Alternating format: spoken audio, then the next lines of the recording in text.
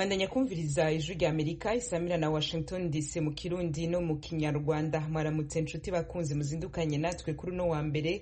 Hano i washington dc muri kumwe na joy diane ninahazwe ngiye kubashikiriza amakuru tubafitiye muri kano gatondo.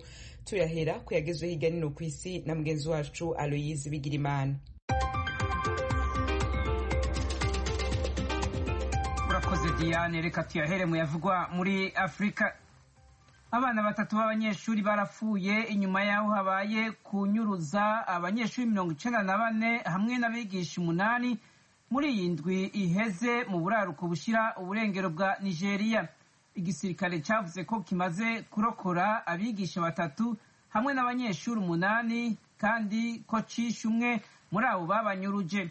Abanyeshuri babiri b'abakobwa hamwe n'umuhungu umwe nibo batowe ibiziga babiri babasanga ko ibikomere vy'amasasu ku maguru nk'uko Mustafa Yusuf umuyobozi mukuru w'amashuri yo mu gisagara ca Birnin Yauri muri leta ya Kebbi iri mu buraruko bushira uburengero bw'igihugu yabivuze.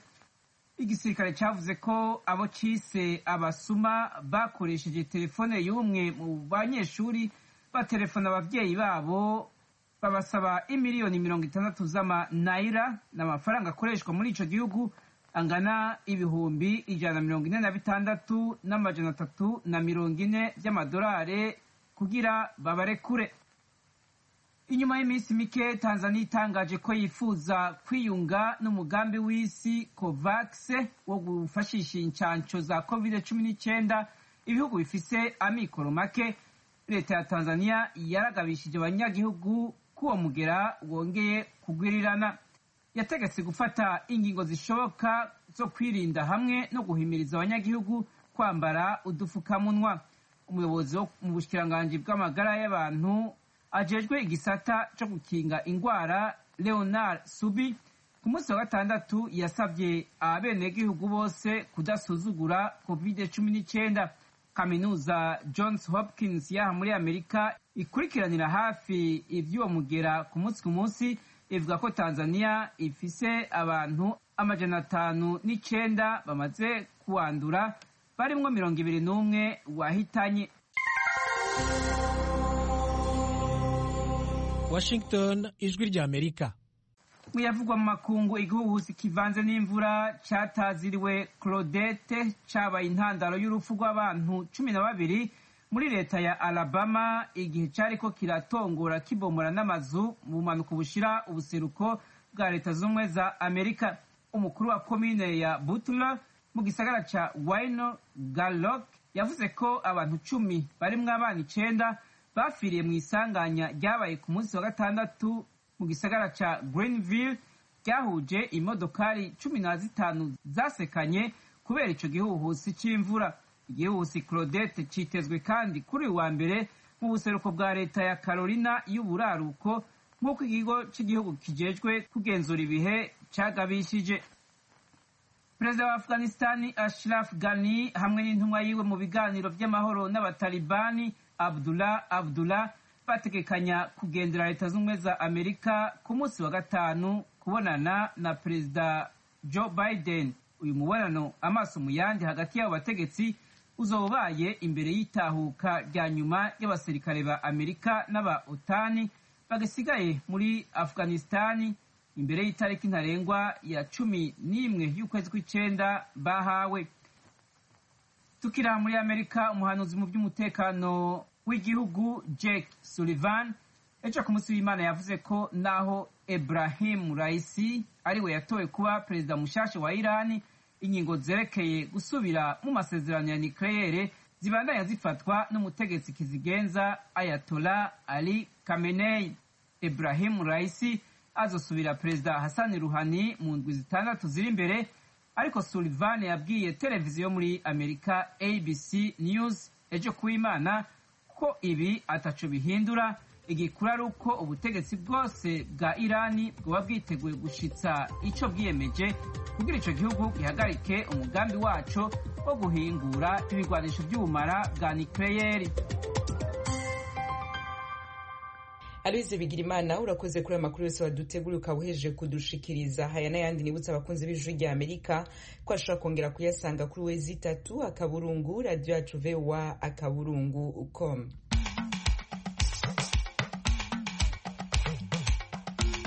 nongere ndabashimire ko mandanya kumviriza ijwi rya amerika isamira na washington dc mu kirundi no mu kinyarwanda. Mu burundi muriko mutwumva ku mirongo migufi ya shortwave kuri metero mirongo ibiri na zitanu mirongo itatu na rimwe na mirongo ine na rimwe mu rwanda. Turi kuri fm ijana na kane n'ibice bitatu ya radiyo ijwi rya amerika no kuri fm mirongo inani n'umunani n'ibice bitatu ya radiyo inshuti ya bose. Incamake y'amakuru avugwa mu karere k'ibiyaga bigari ubu naho. Mu gihugu cy'u rwanda havugwa ikibazo cy'imiryango ifise abana bagendana ubumuga ikabihakana itabihakanye naho ikabata. Umwana yavuka bagahita bafata bagashyira mu cyumba cyangwa se bakanamwihakana burundu. Hari nk'uwo waje no kuwa gatatu gatatu washize ise akatubwira ngo ntabwo ngo ari we. Se akatubwira ati ntabwo uyu nguyu ari umwana wanjye ni umwana natoraguye. Ariko ukabyibaza urimo kumureba mu maso baranasa ijana ku ijana. Uyu ni Eric Nkurunziza ajejwe imibereho myiza ku bitaro bivura abagendana ubumuga n'ibitaro vya Ririma biri mu karere ka Bugesera muri Tanzania.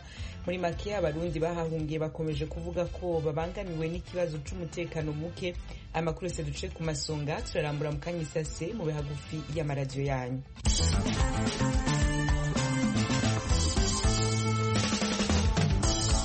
Nongere ndabaha ikaze nshuti bakunzi b'ijwi rya amerika. Ibiharuro biheruka gushirwa habona n'inama nkuru y'igihugu y'abagendana ubumuga mu rwanda vyerekana ko muri ico gihugu hari abagendana ubumuga bagera ku bihumbi amajana ane.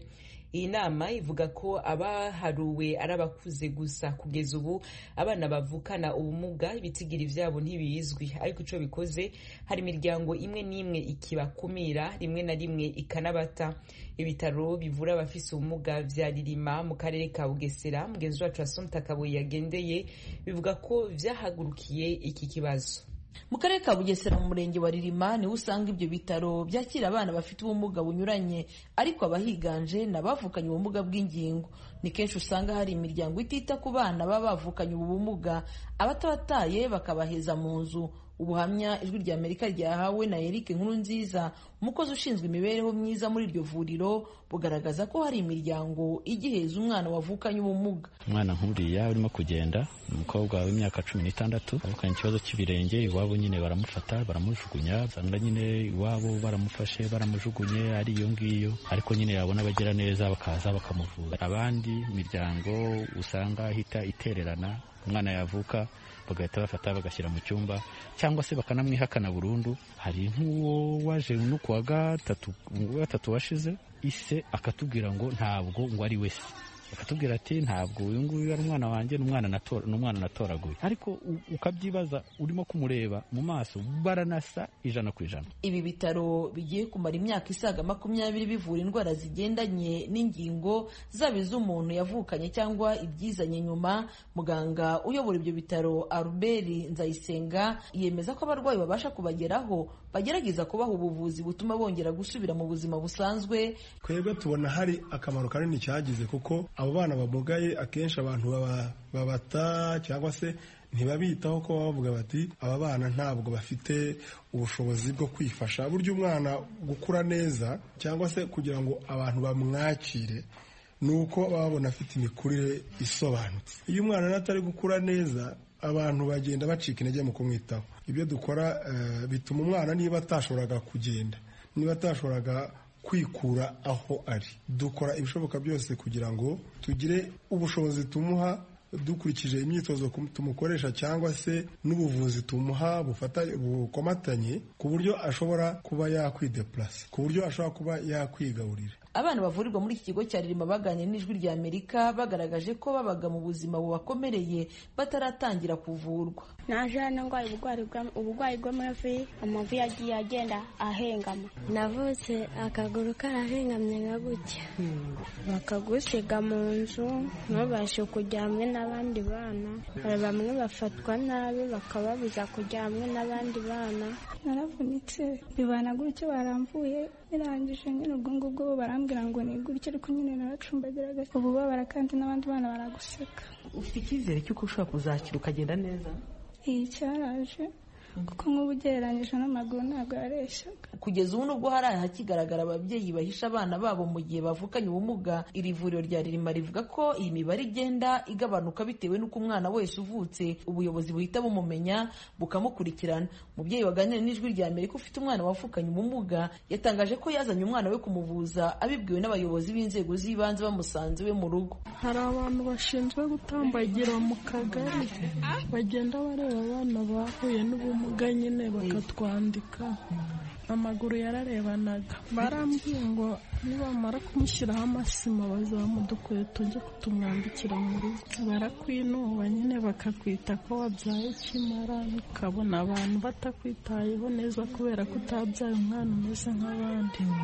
Muganga ruberi ndetse na bwana nkuru nziza wita kuri aba bana umunsi ku munsi bumvikanisha ko umwana waje ufite ikibazo cy'ingingo iyo bamaze kumugorora yongera kwemerwa mu muryango. Hari umubyeyi usiga umwana nk'aha ngaha yagaruka kumureba ukabona kuri we biratangaje bimuteye igishyika ntiyumve ko umwana we yari yifitemo ubwo bushobozi bwo kubigeraho. Ikigaragara cyo iyo bamaze kubona hari aho umwana ageze atangiye guhaguruka atangiye kugenda arashobora kwiga arashobora gukurikira nk'abandi ukabona nyine uyu mwana bamukunze kubera ko yamaze ku yamaze kugira aho agera cyangwa se yamaze kugira ikintu ageraho n'ubwe ashobora kwifasha mu buryo busanzwe. Ibi bitaro bya ririma ni ibya kiliziya gatulika arikidiyoseze ya kigali. Kugeza ubu aba bana bavurirwa muri ibi bitaro bose barirwa n'imishinga ko biba bigoye ko umubyeyi yabona ubushobozi bwo kumuvuza kugeza igihe akize. Mituweli do sante ntirabasha gukorana n'ibi bitaro. Dr. Ruben nzayisenga utangarije ijwi rya amerika ko barimo gukora ibishoboka byose kugira ngo begere mituweli do sante na yo izabashe kuzavuza abarwayi baza bagana ibi bitaro. Asumta kaboyi ijwi rya amerika mu bitaro bya ririma mu karere ka bugesera mu ntara y'iburasirazuba. Asumta kaboyi urakoze. Ejo ku munsi wa munga makungu yarahimbaje umunsi wahariwe impunzi. Icegeranyo ca nyuma c'ishami rya onu ryitaye impunzi ku isi hcr mu mpfunyapfunyo casohotse ku igenekerezo rya mirongo itatu na rimwe ukwezi kwa gatanu kivuga ko abarundi bakibarizwa mu buhungiro barenga ibihumbi amajana abiri na mirongo umunani n'amajana atatu na mirongo itanu. Abarundi bari ahanini mu makambi ari mu rwanda uganda kongo na tanzania. Ico gihugu ca tanzania akaba ari naco kirimwo ibitigiri vyinshi vy'abahunze. Imvururu zo mu bihumbi bibiri na cumi na gatanu zatewe na manda ya gatatu y'umuhisi pierre nkurunziza. Mugenzi wacu james jovin yagendeye amakambi barimwo ariyo nduta nyarugusu na mutenderi abarundi ahasanze bamubwira ko ikibabangamiye cane ari umutekano wabo bavuga ko udakingiwe ariko no gutahukanwa ku nguvu navyo nyene birabahangayikishije. Imyaka itandatu birarumanye. Impunzi z'abarundi zihungiye muri izo nkambi. Ahanini bivugwa yuko bahunze ikibazo c'umutekano. Ariko niyo bahungiye naho bahasanze ibibazo nka mwene ivyo. Bituma batabayeho neza mu buzima bwo mu buhungiro. Mu bitigiri dukura ku gipolisi muri komine kibondo abarenga cumi n'umunani baricwa uko umwaka utashe. Bagirizwa ubugizi bwa nabi. Ivya politike hamwe n'ubusuma naho amakuru yabo adakunze gushigwa habona abarenga mirongo ibiri na batanu nabo baraburirwa irengero. Abandi barenga mirongo indwi na batanu. Barafungwa mu gashoboro k'umwaka utashe bazira kujya gushaka ibiribwa bakabukanya inyuma y'inkambi no gusenya udukwi. Bigatuma benshi babaye mu buzima budafise amahoro akwiye ariko bakabura uko babigenza. Nk'ubu reba imyaka handi hafunze imyaka itandatu. Nta munsi n'umwe ijoro ryijana ata none bajahe bazirike n'amadeni bafise bo kwishura. Ngo muhe Burundi ngo amahoro ariho. Ngo nuko ngo amahoro ngo umusesekare. Mbeje mu rugi wawe. Subona umutekano kwawe ukwiye. Uri hariya hanze. Wamenya uri hano munzi wanje ndi mbandara ntajyamye urabimenya ubona mvyuka ngenda ntumenye ibiri mu nzu. Mu Burundi umutekano ku bwanje ntawe uriho nkaro twerekana ko yuwe na yo ikirabo ko tugowe ha turagowe n'igikora igikorwa ahubwo. Mbere yari kugira vuba. Benshi imitima yaratuntuye ubu turagowe. Musanzwe umutekano kwera umutekano wacu ntibifashe neza. Imyaka itanu iheze hafi itandatu kwera umutekano wagiye uragira wagiye urahungabana abantu benshi baranyurujwe ijoro abandi baricwa amasasi akavuga mu ijoro. Ivyo birazwi. Tukaja gupakira imfungwa bamwe bagaterwa amakirimojeni ivyo birazwi. Hakaba rero n'ikindi kintu cahabaye gushika n'iyi saha kikibandanya gutorwa ijoro ku bagabo. Bagatorwa ijoro batwarwa bagatwarwa gufungwa. Kandi iryo fungwa ntirimenyekane wamara gutohoza ukaza wumva ngo basubijwe mu gihugu cy'uburundi ngo niyo bafungiwe. Hari imiryango myinshi cyane rero aha yifumbereje. Urumva nk'ibyo ni ibibazo cyane twagiye turahura na byo muri iyi myaka hafi itandatu tumaze mu buhungiro.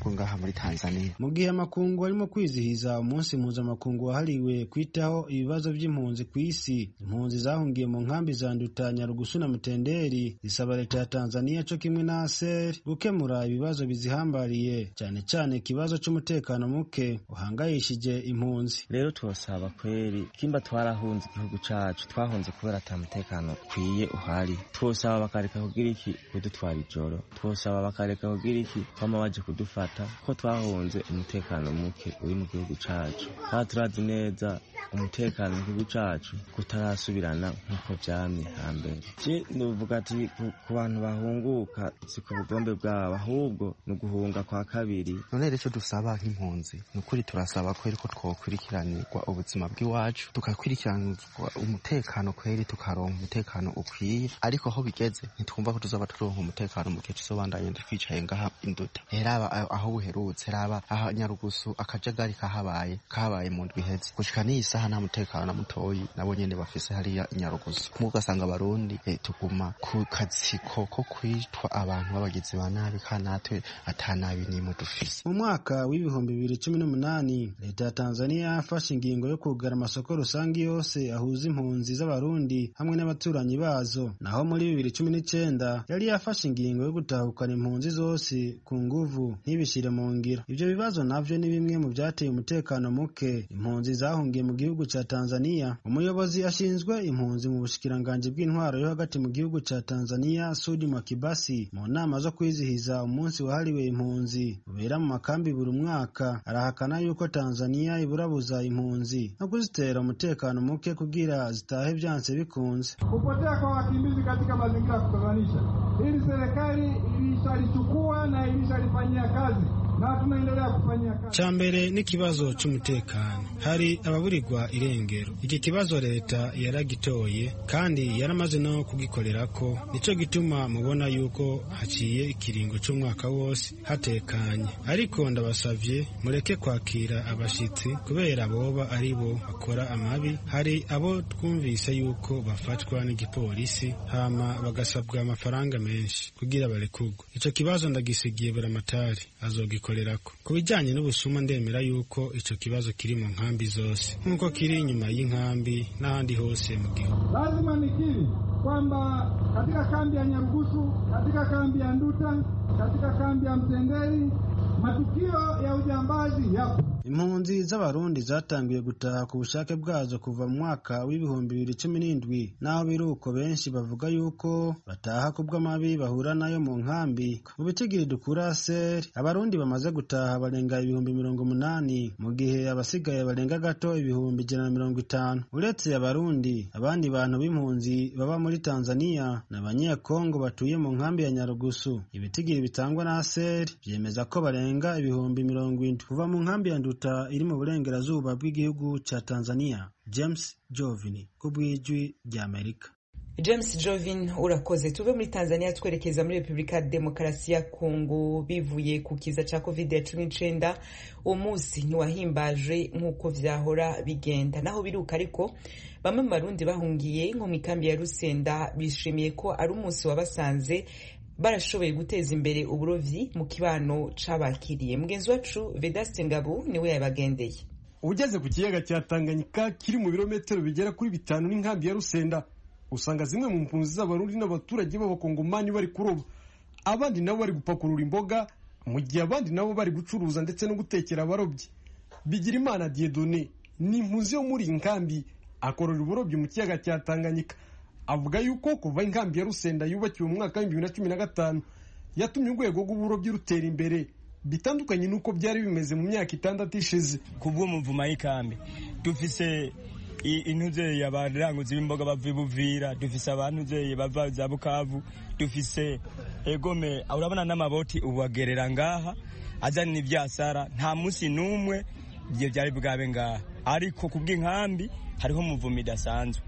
Mbere waza ubona umumama azanye ubufu ngaha ku ruzi nawe ukuye indagara muri Tanganyika mugakaba manake aho wabuguziguriwe wabuguriwe izo ndagara nawe ukabaca profit akayagafu kugira ngo kagire ente kagufase nawe kuko ntiwaciwomberamwo byose ntiwatuzisesa ku musozi. Niko kugura imboga kwaha kwari gusanze ko hari ubu hari ibipe by'isi rwose birarenga nk'ijana. Mikwabiri kiraroba maheri yapo ni umuvumo udasanzwe kandi n'amaheri yapo uriko araraba bariko baranaronka n'abagurira izo mboga. Aha ku kiyaga cya tanganyika ku kivuko cya rusenda kandi usanga zimwe mu mpunzi z'abarundi zidakora umurimo w'uburobyi. Hari izikora imirimo y'ubucuruzi kugira ngo zibone amafaranga yo kugurira abana ibifungurwa. Mu gihe ishiramwe rya pamuri riba ryatinze guhiza imfunzi amafaranga yo kugura ibiribwa. Diane ntirampeba na rusi barihuta bacuruza indagara ku kiyaga cya tanganyika. Turacuruza indagara turacuruza amabenye turacuruza nyine ibintu byinshi ngaha urabona ko hariho ubuyi hariho ivyema ivyo nivyo turonka nyine nk'ako gataye kacu gato gato tuza tudandaza ngaha kwitanganika turose hari igihe tudandaza kwitanganika bidaheze tukabitwara mu nkambi tukadandarizayo. Eka yaradufashije plage cyane twebwe nk'abarefije kuko tuje tuje kwirondera iyo tuba twizigiye ivyo vyo gupokera twari kuba twarapfuye. Kuko turamanuka twaza tubifite ibihumbi byawe mirongo itanu ukirangurira indagara. Ibumba yawe y'indagara waronka ko ibihumbi bitatu kongereza irasiyo kisalama timote batazira kinshasa ni umuturage w'umukongomani wo mu rusenda ashimangira ko kuva inkambi y'abarundi yubakiwe mu mwaka wa bibiri na cumi na gatanu hari icyo yahinduye mu mibereho yabo n'impunzi. Inkambi yacu ndi kabisa ubuzima bwawe bacu mu rusenda kabisa n'abana bacu n'abagore n'abagabo n'imisore n'abakobwa bose bamaze kugwa neza mugabo kubaronka amahera kubera inkambi twahawe ahantu wacu mu rusenda kubera inkambi tubaye mu ivire. Ikambi azoshinje kubanza abagore bacu bazakumenya kudandaza kubera ikambi icya kabiri abagore bacu ko barahinga bagusha ubupfu sinzi ibishimbo akabemba indagara ko barawurisha buri munsi. Umuyobozi wa grupoma y'abarara noro wironja juma nawe yemeza yuko inkambi ya rusenda yatumye urwego rw'uburobyi rutera imbere mu rusenda kuko mbere y'uko inkambi yubakwa mu rusenda hari ibipe by'uburobyi bitarenze bitanu. Ariko kuri ubu hari ibipe by'uburobyi bigera kuri mirongo urunani by'abakongomani. Abarundi ndetse n'iby'impunzi z'abarundi. Verase ngabo ku bwaradijwi rya amerika muri rusenda mutara kivu y'epfo. Ijwi rya amerika washington dc mu kirundi no mu kinyarwanda. Dutandukira amakuru avugwa mu gisata ca sport duhereye mu gihugu c'u burundi. Aho imigwi ibiri izokina urukino rwa nyuma rw'igikombe citiriwe wahoze arongoye uburundi petero nkuru nziza ryaraye yaraye imenyekanye. Iyo mirwi ni message ngozi na flambeau du centre. Iyo migwi ico yose ihuriye ko nuko iri mu ishure ryigisha umupira w'amaguru le message ryashinzwe n'umuhisi nkuru nziza mugenzi wacu Desire Hatungimana abitugire ku muriri. Igenekerezo rya mirongo ibiri na gatandatu za kuno kwezi ni ho imigwi ya flambeau du centre na message ngozi. Imigwi yose yegukira ishuri ry'umupira w'amaguru. Message ngozi ryashinzwe n'umuhisi petero nkuru nziza izohurira mu rukino rwa nyuma rw'igikombe citiriwe uwo yahoze arongoye uburundi kugira iyo migwi ibishike ko umugwi wa message ngozi wari watsinze umugwi wa musongati igitsindo kimwe ku busa mu rukino rwa mbere. Mu rukino rugira kabiri iyo migwi mu gisagara ca ngozi ikaba yaranganije igitsindo kimwe ku kindi. Message ngozi ibona kurengana. Flambeau du centre na yo ikaba yarenganye muri izo nkino ikuye muri iryo higanwa. Umugwi wa aigle noir w'imakamba. Umumenyereza wa aigle noir eme nzohabonayo amenyesha ko batarushijwe mu kibuga. Ahubwo babuze amahirwe. Nayo ubundi hoho umugwi wa flambeau du centre atakinini wabasumbije ukuntu twatanga urukino tubaterera gushyiramo ingufu nyinshi binjiye mu rukino binjiye n'ingufu nyinshi uriye kugira mvuga ngo banagaragaza kuko hari nibaza ko nk'uko mwabibonye bitanze cyane guhera mu rukino gushyika ku mpera mugabo ntitubashoboye gutsinda. Nibaza ko no gushima ntabwo. Tubabuze amashansi kuko urabona ko mu guhera urukino rugitangura twagerageje kubapresa iwabo twagerageje kubafata hafi y'urukino rwose. Twageze imbere gora ntitwashoboye kuronka ishobora kwinjira ari byo vyari kuduha inguvu nibaza ko ni cyo twabuze twabuze chance gusa. Omar Ntakagero amenyereza umugwi wa Flambeau du Centre wo mu ntara ya Gitega wewe arashimira abakinyi be ukuntu bitanze gushika baronse intsinzi zo bashikana mu rukino rwa nyuma. Nibaza ko twaje dukina turondera kurondera kandi intsinzi uno munsi kuko urabye abakinyi bitanze gose kuko match ntiyari yoroshe kuko na Aigle Noir yaza ishaka igombo ryo twayitsinze muri match ale yumva rero natwe twabaye kugobrije gukina rwose turitanga. Gushika amaci irahera turashimira imana kubona twashoboye kurengana. Muri urwo rukino rwa nyuma omar ntakagero azotana mu mitwe n'umugwi wa mesaje bamaze gukina akatari gake mu higanwa no mu zindi nkino amenyesha yuko urukino rwa nyuma batarutegura nk'izindi. Atagiye gukora ibishoboka byose kugira barabe ko uno mwaka icyo gikombe cyitiriwe umukuru w'igihugu petero nkuru nziza cotaha mu ntara ya gitega. Tuzokwitegurira nk'uko ari finale tumaze gukina nabo kabiri muri shampiyona. Hari twarabatsinze maci roturu baradutsinda. Ama nibaza yuko finale yamara finale tugiye kuyitegura. Ama abakinyi kubabwira ko bateza kwitanga kuva ku munota wa mbere gushika ku munota wa nyuma. Mugabo urumva umuntu wese yamaze gukina arondera ashike ku kintu.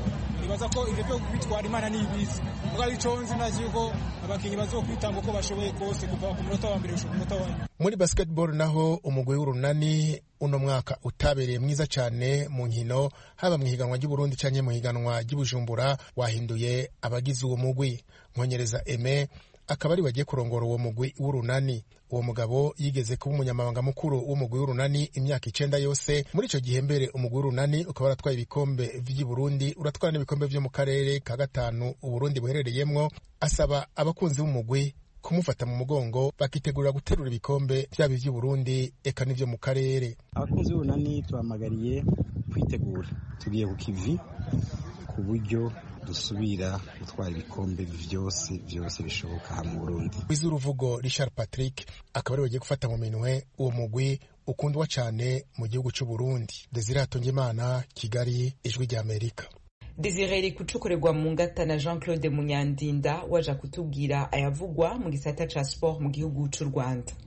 Ejo bundi kuwa gatandatu habaye imikino y'umunsi wa gatandatu ari nawo ubanziriza wa nyuma ku makipe umunani ahatanira igikombe cya shampiyona y'umupira w'amaguru mu cyiciro cya mbere. Ikipe ya polisi fc yatsinze espoir fc ibitego bibiri kuri kimwe kuri stade y'ubugesera nyuma y'uyu mukino hakurikiyeho wa bugesera fc na as kigali. As kigali yatsinze bugesera fc igitego kimwe ku busa mu gihe ikipe ya apr fc yanyagiraga marine fc urungano rw'ibitego bitandatu ku busa kuri stade huye i butare. Mu gihe hari bamwe mu bakurikiranira hafi umupira w'amaguru mu rwanda bakomeje guhwihwisa ko habayeho makanaki hagati ya apr fc na marine fc kugira ngo APR FC irusheho kwanikira AS Kigali ku mubare w'ibitego. Umutoza Yves Rwasamanzi wa Marine FC arasobanura intandaro yo gutsindwa nk'abadahari. Twakinye shampiyona igoye cyane shampiyona igoye cyane sirituke twakinaga match zitaruhuka. Twakinye match ebyiri zishize zari zikomeye cyane kina na Rayon Sport ugakukizaho AS Kigali. Byari ngombwa ko turutsa abakinnyi bamwe dusubiramo abakinnyi bashasha.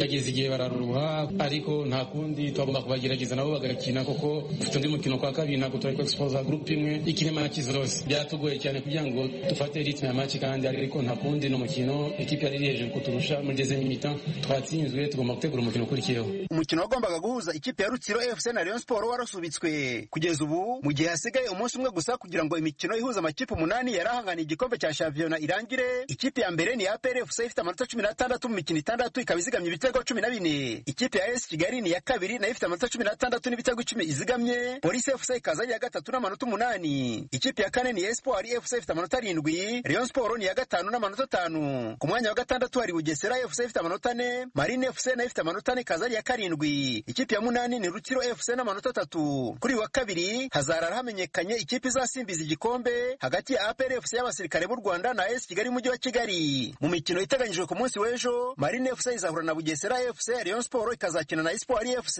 APR FC izahura na Rutsiro FC kuri stade Huye mu gihe AS Kigali izaba icakirana na Police FC kuri stade Muhanga mu mukino w'intoki wa volleyball ikinirwa ku mucanga uyu munsi kuwa mbere mu mujyi wa Agadir muri Maroc haratangira irushanwa ryo guhatanira igikombe cya Afurika cy'ibihugu. Muri iri rushanwa u Rwanda ruhagarariwe n'amakipe ane abiri y'abakobwa n'andi abiri y'abahungu. Mu bakobwa amakipe y'u Rwanda agiye guseruka ni ikipe ya Valentine Munezero uri kumwe na Charlotte Nzayisenga hakaza n'ikipe igizwe na Benita Mukandayisenga afatanyije na Serafine Mukantambara. Amakipe y'abahungu ni ya Olivier Ntagengwa ufatanyije na Akumuntu Kavaro hakaza n'ikipe igizwe na Veniste Gatsinzi hamwe na Fils Habanza Intwari tunyarukiye mu mukino wa basketball u Rwanda rumaze guhabwa amahirwe yo kwakira irushanwa rihuza ibihugu byo mu karere ka gatanu k'imikino muri Afurika mu gushaka itike yo kuzajya mu mikino ya Afrobasket mu bagore. Iryo rushanwa ryagombaga kubera mu Misiri kuva ku itariki ya gatanu kugeza ku ya cumi y'ukwezi gutaha kwa karindwi ryimuriwe kuva ku itariki ya cumi na kabiri kugeza ku ya cumi na karindwi rikazabera muri Kigali Arena i Remera. Nubwo akarere ka gatanu kagizwe n'ibihugu cumi na kimwe bitandatu ni byo bitegerejwe muri irushanwa ni ukuvuga Kenya